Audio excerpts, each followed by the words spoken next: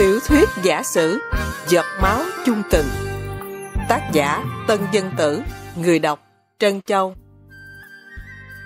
Đoạn 2 Hồi thứ tư, Gương ô thấm thoát. Trời đã xế chiều, Ngọn kim phong phưởng phất cho hiu hiu, Như dục khách thừa lương ngoạn cảnh. Đồng sơ mới sửa sang xiêm áo Rồi đi dạo xem cảnh vật sơn xuyên. Chợt thấy bên mái hiên đồ sộ, Một tòa thành quách Bèn lần lần đi tới thì rõ ràng cảnh hoa duyên, chỗ thì liễu dưỡng tàn cao, chỗ lại cây khoe bóng mát. Kìa, đóng đánh mấy nhành dương sao sát, nhúng tới đưa lui, dường như nó thấy khách tha hương mà múa men mừng rỡ. Nó lăn liếu mấy con hoàng anh thỏ thẻ, nó đáp lại bay qua, dường như thấy khách phương xa nhảy ra mà chào hỏi.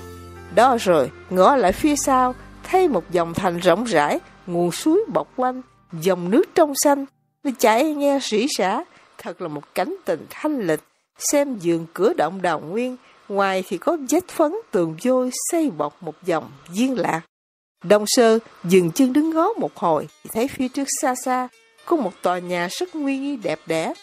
Rồi đi sang phía tả thì thấy một hòn giả sơn chớn chở ở giữa hồ sen, gộp đá do da, nước khe trong vẻo, thật là hoa cỏ mỉa mai giường thượng quyển, nước non mường tượng cánh bồng lai, gần đó có một tòa miếu nhỏ nhỏ, ở giữa mé tường trước có trồng một bụi hải đường, với dài đó phù dung, nó đương sánh sắc so tài mà khoe màu rực rỡ, đồng sơn bèn mon men bước tới, thay có một tấm biển sơn đen đề ba chữ quan âm cát rõ ràng, nét vàng chói ra rợn rảnh. Trong lúc đương đứng xem hoa nhắm cảnh, Phục đà, nhật dí trầm tay, kế ờ, trống đến quân hơi dẫn dẫn mái đông thành. Tiên khoan nhạc đã nghe thùng thùng rắc rắc, cái tiên ấy thỉnh thoảng bên tai, dường như kêu khách du phương mà thôi thúc rằng trăng đã lỗ bóng, trời đã tối rồi, sao chưa dội trở gió hài mà còn ngẩn ngơ ở đó. Nhưng mà đông sơ mãn mê theo cái cảnh kỳ hoa dị thảo. Thanh lịch u nhàn này mà đứng sững trơ trơ giữa nơi góc tường kia như tuồng ai đem hồ keo mà dán vào đó vậy. Lúc ấy trăng thu tỏ rõ, bóng dọi tường thành, đồng sơn ngó quanh thấy một cái cửa nhỏ thì xô cửa bước vô, rồi đi lần tới quan âm cát. Đương đứng nhắm trước xem sao, bỗng thấy một vị tiểu thư ở trong tòa nhà lầu ở phía trên bước ra, rồi xăm xăm đi tới, và có một đứa thể nữ, bưng hương đăng trà quả theo sau. Đồng sơ dội dạng ẩn theo bóng cây, rồi bước vào buổi phù dung mà núp. Khi cô ấy và thể nữ đi thẳng tới quan âm cát, mở cửa bước vô, đồng sơ len len bước theo, thì thấy thể nữ sửa soạn pháp hương, còn tiểu thơ thì đứng trước tòa quan âm, khấn giái lâm râm, rồi nghiêng mình cúi lại. Cơn ấy đèn khêu tỏ rõ, trăng giỏi sáng lòa, thì rõ ràng là một người tuyệt sắc giai nhân, mình mặc một phúc áo cẩm nhung, đầu dắt một nhành trăm kim tước, tay đeo một chiếc vòng kim xuyến nhẫn ngọc kim cang, cổ mang sợi chuyền liên hoàng. Xen hàng cẩm thạch, tóc mây dẫn tráng, dường như tiên nữ xuống phàm gian. Má phấn ửng hồng, mường tượng phù dũng phe sắc lịch, dung nghi yếu điệu có cách dịu dàng, đẹp thay một vẻ hồng nhan, đang mặc hương trời sắc nước, thật là rõ ràng trong ngọc trắng ngà, phong nghi sẵn đúc một tòa thiên nhiên. Khi đông sơ đương nước giữa vách mà coi, thì thấy phía bên kia có một bóng đen đương leo qua vách tường, nhảy vô, rồi lại đứng trước quan âm cát, tay cầm một ngọn đòn đao, mặt mày dữ tợn, mặt ngò lùm lùm tiểu thư. Đông sơ biết là một đứa hung đồ, chẳng phải người lương thiện, kê ra tiểu thơ trong các bước ra, thằng cường bạo kia nhảy sóc lại, dơ đao, vừa muốn đâm tiểu thơ, thì Đông Sơ đã nhảy tới lẹ như nháy mắt, gạt cánh tay thằng ấy một cái sức mạnh, làm cho cây đoán đao kia văng lên trên không, rồi rớt xuống mép thềm tiếng nghe can cán. Thằng khốn ấy bị Đông Sơ đánh bồi thêm một cái nữa, te nhào xuống đất nằm bất tỉnh. Lúc đó tiểu thơ và thể nữ quảng kinh chạy trở vào đứng nấp trong miễu. Đông Sơ lật đật lượm cái đao lên cầm nơi tay, rồi bước vô cúi chào tiểu thơ và nói một cách lễ nghi tề chính rằng Xin cô chớ sợ, cây đao của tên khốn nạn này đã vào tay tôi đây, không sao phòng ngại. Tiểu thần nghe nói thì đã hồi tâm định tĩnh, rồi chậm rãi bước ra thì thấy thằng ấy đã tính hồn và lồng cồn ngồi dậy. Đồng sơ bèn nói với tiểu thơ rằng, xin cô hãy bước ra khỏi nó gì cớ nào mà dám vào đây làm điều ám hại như vậy. Song sự dữ tợn thình ấy đã làm cho tiểu thơ kinh tâm tán đỡm mà ngây ngẩn sững sờ. Nhưng tiểu thơ tuy là phận quần xoa bộ liễu, song cũng có chi khí liệt nữ thuyền quyên, nên đổi sợ làm thường, đổi kinh làm tỉnh, rồi bước tới cách giảng dĩ nghiêm trang mà hỏi rằng, ờ cái tên khốn nạn kia, ta vẫn là người khuê môn bất xuất, ở nơi tứ cát hồng lâu, ta chẳng hề làm điều chi khắc bạc hành hà, cũng chẳng hề làm một điều chi gây thù kết hận, cũng chẳng làm điều chi mít lòng đến ngươi và xúc phạm đến ai hết cả. Sao mi chẳng biết lấy sự lễ nghi khuôn phép mà đối đãi với một bậc thục nữ thuyền quyên, mi lại mua chát những sự tàn bạo hung hăng mà bán lương tâm cho ma quỷ. mi chẳng kiêu pháp luật, chẳng kể ngục hình và dám đến đây thình lình mà làm điều ám hại như thế. Tình kia nghe hỏi thì lồm còn đứng rồi nói, tôi là một đứa nghèo khổ cơ hàng, ăn chẳng bữa nào no, mặc không bữa nào ấm. Lấy đình miếu làm nhà, lấy đất gạch làm chiếu, lấy rừng bụi làm xóm giường, lấy rau cỏ trái cây làm cơm gạo. Cái sự đôi khác ấy làm cho tôi hết biết lễ nghi pháp luật, hết biết liêm sĩ phải chăng. Nó làm tôi giận đất ghét trời, ghét tạo hoa chẳng công bình, để cho kẻ giàu có kia cửa tia lầu son, để cho kẻ hào hộ kia cố tiền dư giả, miên ngon ăn chẳng hết, gấm nhiễu mặt ê hề. Cho đến cổ chuỗi tay dòng bông xoàn xiết ngọc, còn kẻ thì bụng đói xếp da như chẳng hiu, cơm chẳng đủ ăn, làm cho mau hết thịt tiêu, sườn lòi mắt lộ như khu gian, làm cho hết biết sự vui sướng trong cõi nhân gian, hết biết sự sống người dương thế. Sự đôi khát khốn nạn này nó dục tôi đêm nay đến đây mà giết cô, giết cô đặng lấy của dư giả nó nhõng nhảnh ràng buộc nó canh tay cô, đặng đem về mà đỡ đói ít ngày rồi chết cũng cam tâm với thằng tạo quá Tiểu thơ nghe tên ấy nói bấy nhiêu lời thì nét mặt có sắc thảm sầu và thở ra một cái. Rồi làm thinh chẳng nói, đồng sơ thấy vậy, liền bước tới kêu tên ấy mà nói rằng Ờ tên kia, mi nói rằng mi quán trách tạo quá chẳng công bình, để cho mi đôi khác cơ hàng, là mi phải giết người mà lấy của phải không? Xong những điều mi tháng quán nãy giờ không hề làm cho động lòng một ai mà thương xót mi đặng.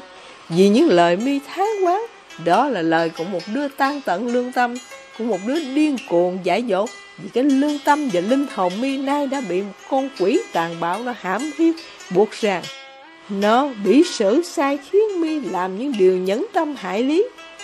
Khôn nạn dữ dằn nên mi đem gươm đao mà làm trò chơi với báo me xác thịt của người vô can mà mi không ăn năn hối ngộ. Ta nói cho mi biết, những sự giàu có của cải kia là bởi trong cái giọt nước mồ hôi mà nhí ra, ở trong cái trí não tài năng của người tính lo cực khổ mới có rằng nào có phải cái của cải ấy tạo hóa đem đến mà cho riêng một người nào đâu. Sao mình gọi rằng tạo hóa chẳng công bình mà hờn trời dẫn đất. Giả lại mọi người trên thế gian này đều có quyền tự do thông thả mà hưởng dùng sự phú quý tiền tài của mình. Chẳng hề một ai đặng dòm hành xúc phạm. Nếu lấy những điều tàn bạo hung gian mà xúc phạm cướp đoạt của người thì pháp lực kia sẽ can dự vào ngục hình kia nó ở trước mắt Gươm đao kia nó kề bên cổ, trăng trôi kia nó ở nơi chân tay, cái địa ngục kia ở sờ sờ nơi cõi nhân gian, nào phải nơi miền địa phủ. Mày hãy chống con mắt cho lớn lao mà coi, những đứa đoạt tài hai mạng người ta không bao giờ khỏi vào cái địa ngục ở thế gian này đặng. Nhưng ta tưởng cặp mắt của mi ngày nay đã bị con quỷ tàn bạo kia nó che lắm. Dẫu có mắt cũng như đuôi, có xác cũng không hồn. Là ngươi bây giờ đó Ờ, tên tượng bảo kia ơi, ta ướt nước mắt mà khóc dùm cho cái linh hồn mi đã chết rồi. Cái xác thịt thì còn chạy chạy đi đi trong cõi thế gian này, xong cái lương tâm của mi đã mất. Duy còn một hơi thoi thóp đó mà thôi. Nếu mi chẳng biết cải ác tùng lương, khử tà quy chánh, thì cái đau pháp luật nó sẽ cởi nơi cổ mi, mà làm cho mi đầu một nơi, bệnh một ngã. Ừ, tình khôn nạn kia ơi, nhưng ta chẳng nỡ để mi mang những điều lỗi lầm tội ác ấy. Vậy ta khuyên ngươi phải sử động cái tâm thân mi lên mà mạnh mẽ Kêu rú mấy cái gân cốt quyết hoạch mi Kêu rũ cái gan đảm tinh thần của mi đang xúm lại mà xua đủ con quỷ tàn bạo kia. Nó ở trong trái tim mi, Nó đã cam dỗ xui dục mi bấy lâu nay, Làm cho mi ra một đứa ác nhân, Nửa sống nửa chết. Cái nghệ leo tường khoét chết, Cái nghệ đón ngã chặn đường ấy Có tốt lành chi mà mi đeo đuổi tập luyện. Ờ tên kia ơi, Vậy ta xin khuyên ngươi một lần chót này nữa. Là ngươi hay mau mau cải ác tùng lương, Khử tà huy chính. Đặng lo mà làm ăn công nghệ, Lo mà buôn bán sanh nhai, Lo giúp đỡ đồng bào Mà cạnh tranh quyền lợi. Làm sao cho ra một người ít nước lợi nhà Mà đứng đợt như gió trụ Sơn Hà, Cho khỏi mang tiên nhục nhơ nòi giống. Tên kia gục đầu, Nghe biển chiếc một hồi, Rất rõ ràng sách hoạch. Dường như cái lưỡi đông sơ Đã thành ra một loạn đao bên kia. Đem mà chăm chích trong gan ruột tâm thần Rất đau đơn nhức nhối hơn là đau thiệt kia đâm vào xác thịt. Những lời ấy rỗng rỗng ráng ráng, Ở trong chót lưỡi đông sơn Tuôn ra như một ngọn thủy triều kia Là đương cuồn cuộn chảy tới Làm cho tên ấy phải ờ, thỉnh lòng kính phục. Rồi ngước mặt ngó lại đông sơn mà đáp rằng những lời quan nhân phân trần răng bảo tôi đó Dí như tôi đương mê mẩn trong một giấc ngủ kia Bỗng nhiên nghe một tiếng sấm sét nổ bên tai Làm cho tôi giật mình và kinh tỉnh Và như một ánh sáng kia dõi vào hang kính Làm cho bao nhiêu những sự tối tăm mờ mịt đều tan mất. Mà ngó thấy một cảnh thanh thiên Một gương bạch nhật hiển hiện ra trước mắt. Bây lâu tôi cũng như một đứa mắt chân mê tâm nay gặp nhầm thuốc hay uống vào, làm cho tôi tâm thần đều trở ra tráng kiện. Nếu tôi không gặp quan nhân ngày nay, thì tôi tưởng từ đấy sắp sau tôi sẽ còn mang nhiều điều tối lỗi. Vậy tôi xin thề một lời giữa đây, tôi sẽ cái ác tùng lương, khứ tà, huy chánh. Tiểu thơ thấy tên ấy đã hồi tâm tỉnh ngộ thì bước ra nói rằng, Ừ, tên kia, này mi đã ăn năn tổ lỗi của mi mà, Cải quá tự tân thì ta cũng rộng lòng dung thứ. Vậy ta khuyên mi phải nhớ những lời dặn của quan nhân đây, cũng như một kinh sám hối, để mà siêu độ cái linh hồn mi cho khỏi dòng tội lỗi. Và mi phải nhớ rằng, cái đau mi đem tới mà ám hại ta ngày nay đây. Nếu mi không chừa cái nghiệp tàn bạo ấy đi, thì ngày kia nó sẽ trở lại mà giết mi một cách rất ghê gớm. Nói rồi, thò tay vào áo, lấy ra 10 lượng bạc, trao cho tên ấy mà giảng rằng, mi hãy lấy bạc này về lo làm ăn đặng mà nuôi dưỡng cái linh hồn mi cho ra một người tánh tình lương thiện tên kia thò tay lấy bạc rồi cúi đầu cảm ơn mà đi. Đó rồi, tiểu thơ dai lại nó đi ông sơ rằng, quan nhân ngày nãy cứu tôi khỏi tay cường bạo ấy, thì ơn đó tôi sẽ tạc giả ghi xương, dấu ngàn năm cũng không quên ơn tri ngộ. Và để quan nhân vui lòng thì cho tôi biết quý danh và quý xứ. Đồng sơn nghe nói thì phơi phở mừng thầm, liền lấy cái danh thiếp của mình ra trao cho tiểu thư và nói, nếu tiểu thơ có lòng hạ cố thì tôi xin gạn hỏi một lời. Nói đến đây thì kê một con thể nữ ngoài cửa bước vô chạy lại thưa với tiểu thơ rằng ông đợi cô vào giải chuyện. Tiểu thơ nghe cha là binh bộ thưởng thư đợi liền từ giá đông sơ và lật đật đi cùng thể nữ. Còn đông sơ thì ghé mắt ngó theo một hồi rồi cũng dựa giả bước ra. Bỗng thấy một cái khăn lụa rớt giữa mé thềm, liền lượm lên xem, thấy trong khăn có thêu một nhánh bông mẫu đơn rất tốt. Một bên chéo khăn lại thêu ba chữ Bạch Thu Hà, hãy còn thoang thoảng hương trầm, mùi hương phất mũi. Đông sơ biết là khăn của tiểu thơ, bèn bỏ vào túi rồi trở về thơ diện. Khi đông sơ trở về đến nhà, lấy khăn ra xem, xăm soi và hung hết cái mùi hương trầm hãy còn thơm tho, phưởng phất. Đoạn một mình ngồi dưới ngọn đèn leo lét trong thơ phòng mà thầm thương trộm nghĩ rằng thật cái buổi chiều nay là một buổi rất may mắn kỳ phùng khiến cho mình đặng thi ân mọn với tiểu thơ mà làm cho tiểu thơ mang ơn chát nghĩa và làm cho mình gặp dịp mình nhìn xem cái vẻ sắc nước hương trời của một người giai nhân thục nữ. Và cái khăn này thì cũng một mai môi chỉ cho mình chăng?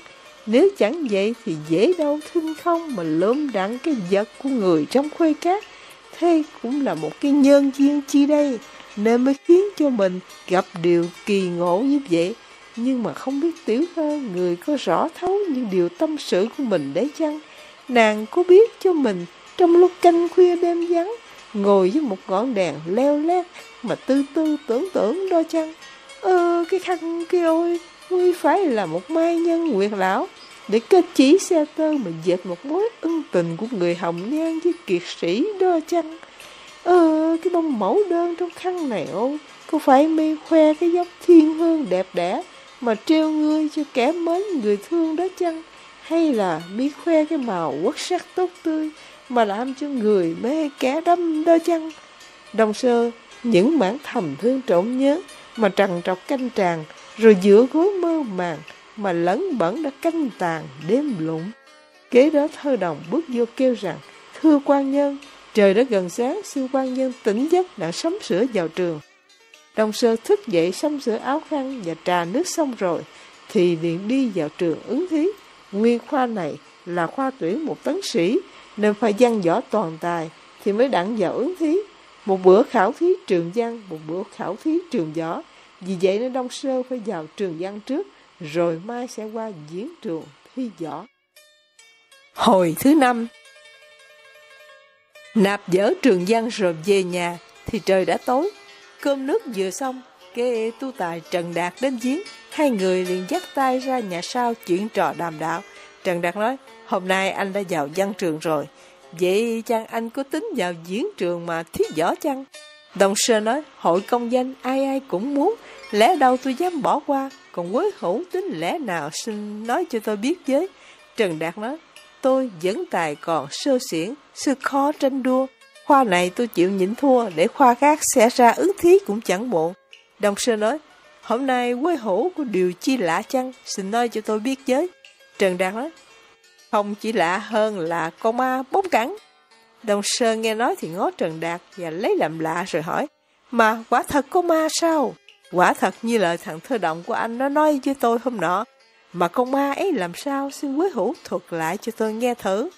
Trần Đạt nói, đêm hôm qua khi tôi đi ngủ, tôi có để một cây gươm trên đầu giường rồi tắt đèn lại nằm, và lóng nghe cho tới canh tư. Nhưng tôi không một chi lạ hết, tôi mới nghĩ thầm rằng đó là chuyện quyển hoặc, người ta đặt điều đang nhắc mình chơi vậy thôi, chứ ma đâu có. Nói rồi tôi ngủ cho đến sáng, qua đêm sau tôi cũng còn hồn nghi, nên khi vô quần đi ngủ cũng có để cây gươm trên đầu giường, rồi nằm lắng lặng làm thinh, mở mắt lóng tai mà nghe coi có chi lạ không. Sải nghe trong trở canh ba mà không thấy chi hết, hai con mắt đã sập mi mơ màng. Bỗng nghe một cái sạc trên rượng nhà, tôi giật mình mở mắt trào tráo và ngóc đầu dậy lắng nghe cho rõ. Kê nghe một cái rẹt nữa, nghe rõ thì là dơi đáp mũi nó bay. Đó rồi tôi cũng nằm lắng lặng làm thinh một hồi lâu.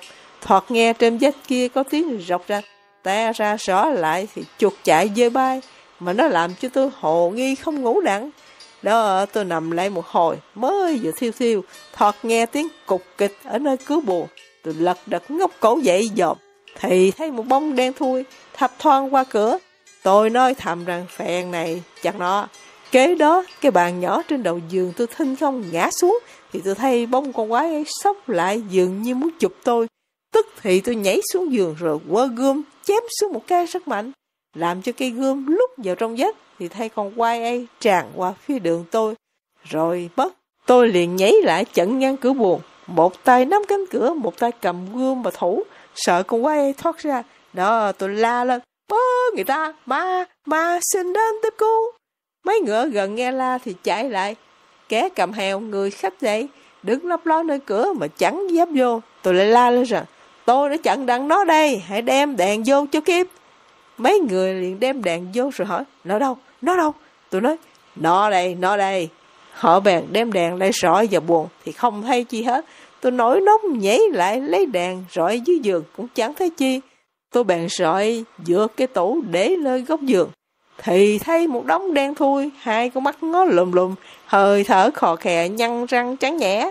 Tôi liền la lên, nó đây, nó đây, mấy người đem đèn ra coi. Thì thấy rõ ràng một con chó mực đường ngồi so ro, ai nấy ngó nhau chân hững, rồi cười ngất một hồi. Còn tôi thì bị trức chọn ai đêm, mặt đổ hào quang, nghĩ cũng tức cười mà cười không ra tiếng. Vậy tôi xin phê dưới đây ít hàng cho khán quan xem chơi giải muộn. Quay thai khi đừng tôi tâm sợ sệt thì tưởng cho là ma. Tới chừng khi tường tận rõ ràng mới biết ma là cho. Khẳng khai bay tên tú tài quơ quyền mà đụng gió, dẫn rồ thần hung. Tội nghiệp thai con cho mực bị đánh đá kinh hồn, sợ ngồi cú rú.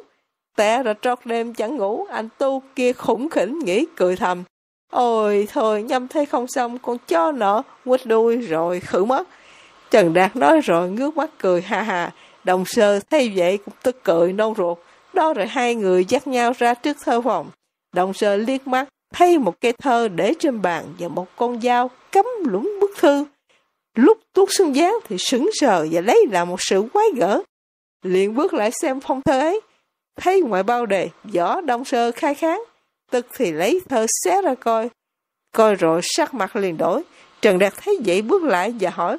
Chẳng biết thơ ấy có sự chi lạ chăng, mà tôi xem anh dường như có sắc kinh nghi tràn ra nét mặt. Đồng sơ thấy hỏi thì trao thơ ấy cho Trần Đạt xem. Trong thơ nói như vậy. Võ Đông Sơ, ta nói cho ngươi biết rằng, hòa tân sĩ này ngươi phải nhượng lại cho ta, thì ta chẳng những cảm ơn mà lại còn trọng đáp. Bằng không thì trước khi tới diễn trường, ngươi sẽ như cái thơ với cây dao này vậy, chừng ấy ta e cho ngươi ăn năn đã muộn. Kỹ tên Tây Thôn Võ Sĩ. Xem thơ rồi hai người ngó nhau sững sờ, dường như sấm nổ gian tay, đất bằng dậy sóng. Trần đã hỏi, vậy mà trong ý anh có biết chắc ai gửi thư này không? Đồng sơ nói, tôi chẳng quen với ai, mà cũng chẳng biết ai hết. Xong theo ý tôi tưởng, cái thơ này như một cái hình giả kia để nhát chim xe sẻ đó thôi. Còn tôi thì chẳng hề những khoa này cho ai cả. Thả tới diễn trường. Tranh tài đấu lực chừng đó, đặc thất sẽ hay, lẽ đâu vì một lá thư này mà làm cho lòng công danh băng láng.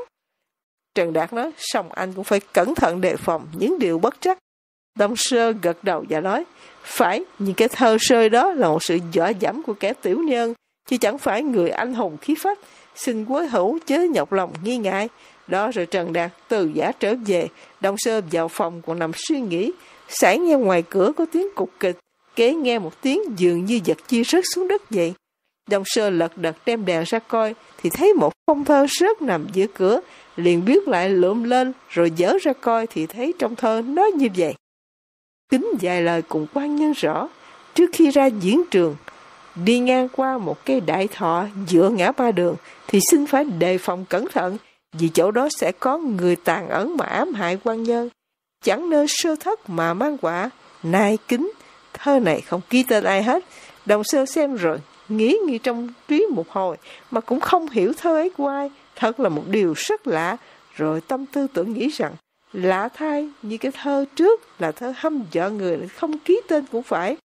Chỉ như thơ này là thơ ơn, song chẳng rõ cớ nào mà không ký tên. Cũng một điều rất quái. Hai cái thơ ấy làm cho Đông Sơ trót đêm bối rối trí khôn. Đứng nghĩ ngồi suy, nằm chẳng an nơi, ngủ không ngon giấc. Bỗng nghe Đông Thành gian giảng trống đã sang tư, gương thở bóng tà in ỏi canh gà dục thúc. Đồng sơ bèn thức dậy trà nước rồi sắm sửa y cân, thì thơ đồng đã thắng ngựa gác yên. Đứng chờ trước ngõ, đồng sơ nay nịch xong rồi, bèn dục ngựa lên đường, nhằm diễn trường thẳng tới, còn thơ đồng và Trần Đạt cũng thỉnh thoảng nối gót theo sau.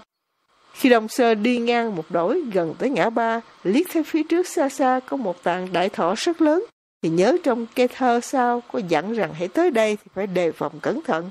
Vì vậy nên Đông sơn rút cung cầm nơi tay, rồi dục ngựa chạy mau, còn mắt thì nhắm trước xem sao, thấy hai bên đường, bụi cao, bụi thấp, trầm lục bông trăng nhấp nhán, cây cỏ mờ mờ.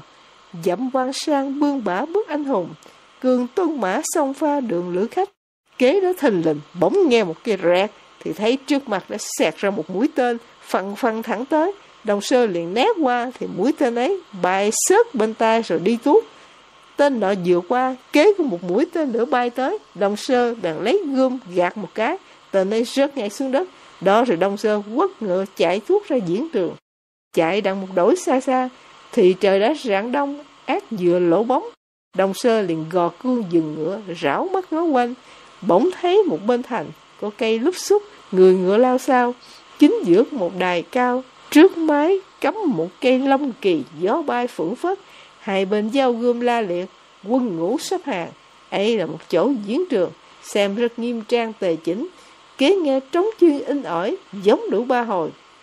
Thì thấy ba vị đại thần, cởi ngựa bước ra rồi lên diễn trường mà ngồi, xem rất oai nghi lẫm liệt. Đó là ba vị giám khảo, còn chung quanh diễn trường, nào là nho sĩ, nào là gió xanh, kẻ ở thị thành, người trong thôn lý, dắt nhau nao nức đến xem, đứng để chật đường, đông dường nhóm chợ.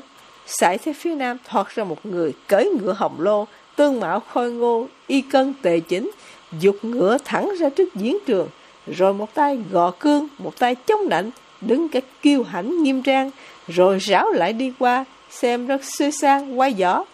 Liệt dị khang quan xem tới đây thê cũng ấm ức trong mông mà coi người cởi ngựa hồng lô này là ai cho biết. Nhưng mà người này chẳng lạ, vốn tôi đã ló một sự tích sáng qua trong khoảng trước đây, xong tôi còn núp ngồi bút mà ẩn danh, làm cho liệt vị khang quan dọc lòng trong đợi chơi trong một giây phút.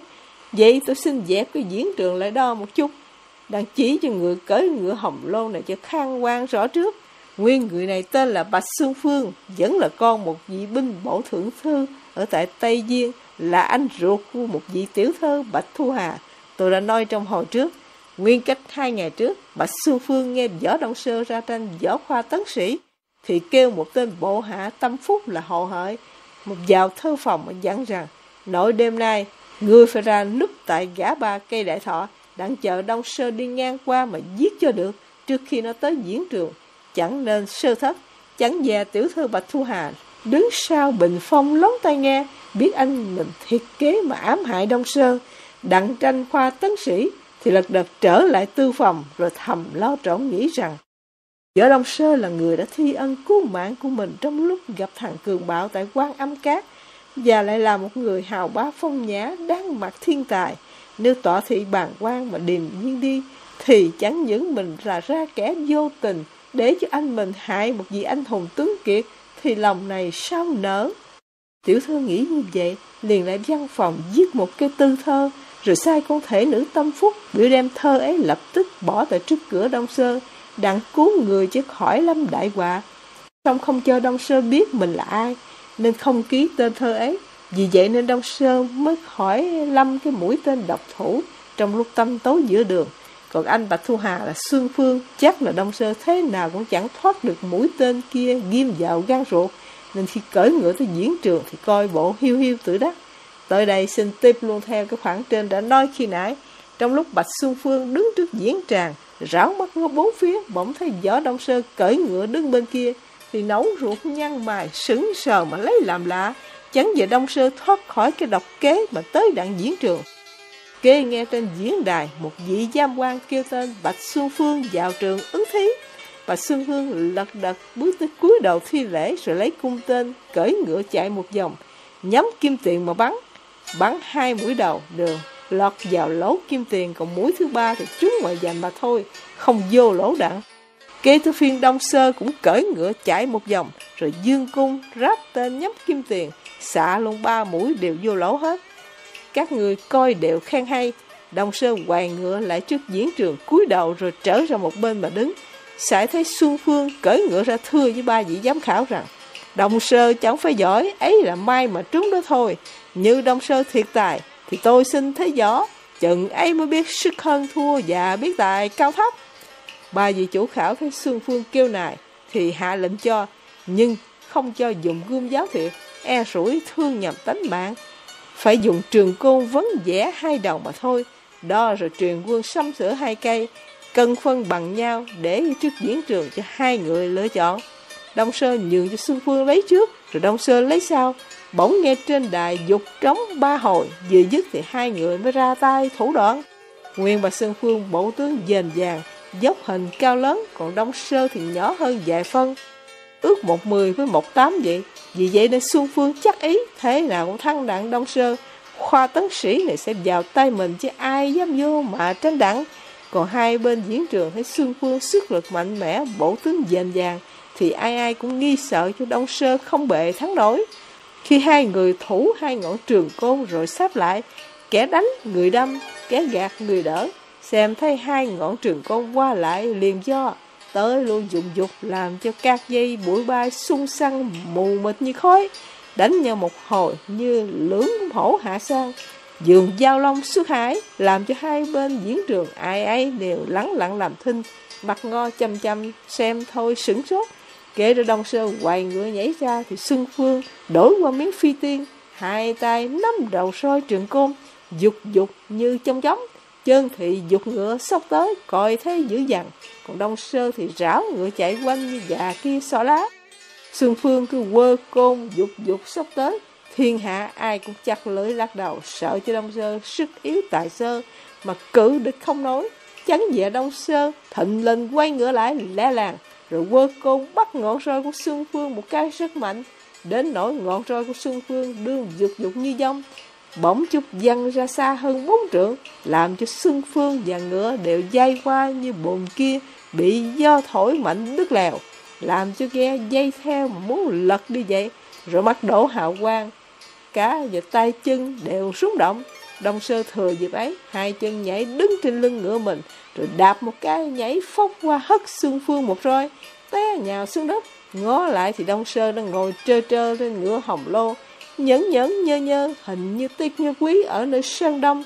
Cởi ngựa quỳnh phiêu dường như lữ phụng tiên đứng trước viên môn tai gò sứ thố cả thải hai bên diễn trường đều la lớn lên một tiếng hay hay như sấm dậy giang tay rần rần vỗ tay bóp bóp. Như pháo nổ miếng này gọi là đại bàng phi thạch động sư tử thượng lâu đài.